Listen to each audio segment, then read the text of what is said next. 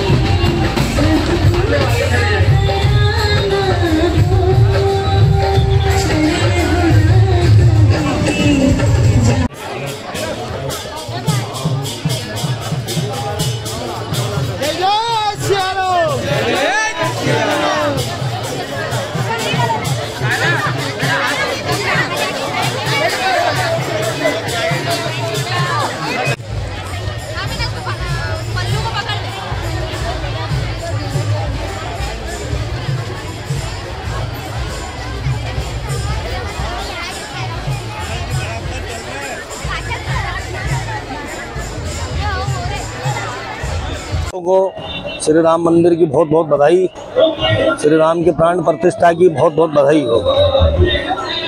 भावना यात्रा रैली निकली है। इसके अंदर तमाम जो है हिंदू मुसलमान सिख ईसाई सबने मिलकर जो है इसका आयोजन किया है जिसके अंदर अज़ीज़ भाई का अजीजुद्दीन शेख पत्रकार चौथा संसार का बहुत बड़ा सहयोग रहता है।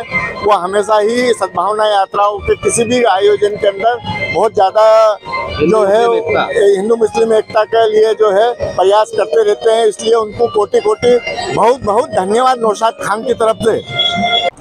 देखिए 22 जनवरी को अयोध्या में रामलला जी की प्राण प्रतिष्ठा हो रही है।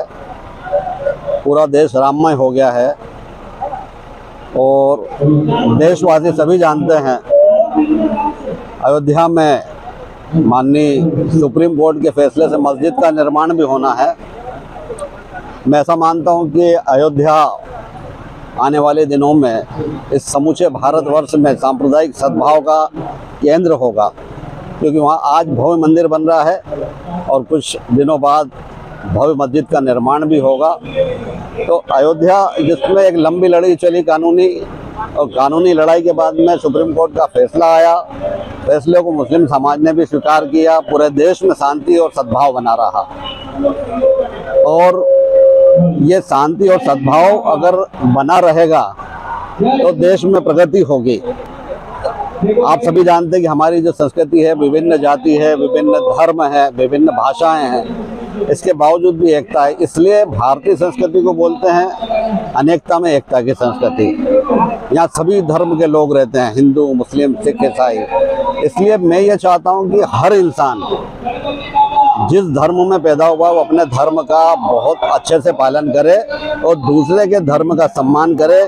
यही सर्वधर्म संभाव है। और इसी सर्वधर्म संभाव के बयार को हमको खरगोन से हमने शुरुआत की और कई सालों पहले शिव डोले का स्वागत करते थे सन 2001 में। लगातार ये सिलसिला चलता रहा। उसके बाद में अभी जो कुछ भी घटनाक्रम खरगोन में, उसके बाद में फिर हमने शिव जी के डोले से सांप्रदायिक सद्भाव की एक नई पहल खरगोन की सरजमी पर की है। उसके बाद में रामनवमी का जुलूस आया। हमने भव्य ऐसा स्वागत किया कि उसकी गूंज जो है, राज्य की राजधानी भोपाल ही नहीं, देश की राजधानी दिल्ली तक गई।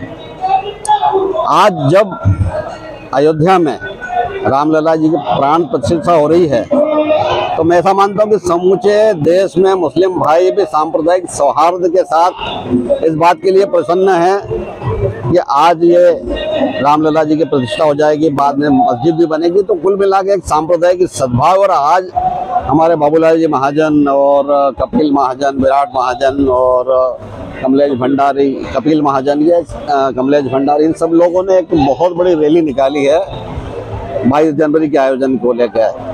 तो हमने उनका स्वागत मुस्लिम समाज की ओर से किया है और हमारे सारे मुस्लिम दोस्त यहाँ उपस्थित हुए और सबने पुष्प वर्षा की, उनका दिल से स्वागत किया और ये स्वागत जो है कि खरगोन में शांति बनी रहे, सद्भाव बना रहे, आपसी भाईचारा बने रहे। खरगोन से सद्भावना का संदेश हमारे राज्य की राजधानी भोपाल में जाए, दिल्ली में जाए, हमारा मकसद है कि कोटि कोटि कंठों में कोटि कोटि कंठों में अब स्वर यही चाहिए।